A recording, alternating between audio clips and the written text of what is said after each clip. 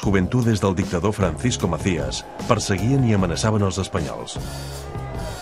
Yo les he dicho que se peguen o se maltraten a los pocos blancos que viven en Guinea Ecuatorial, salvo si se meten en política, si meten en política tarde. No hay más remedio.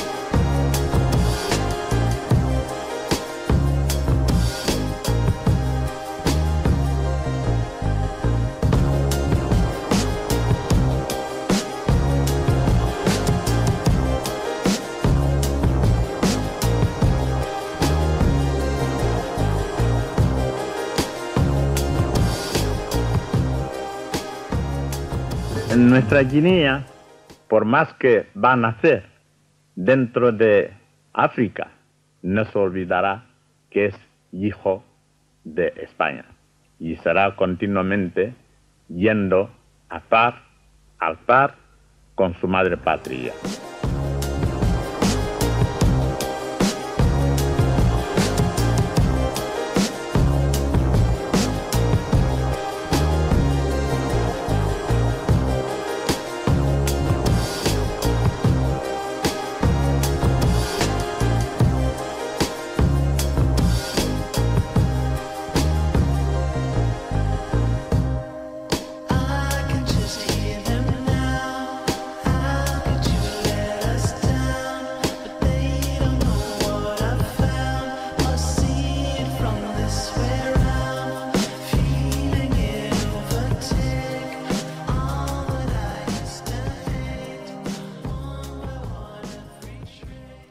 Invita encarecidamente a todos cuantos nacionalistas de la Guinea Ecuatorial voten el próximo domingo día 29 el símbolo del gallo.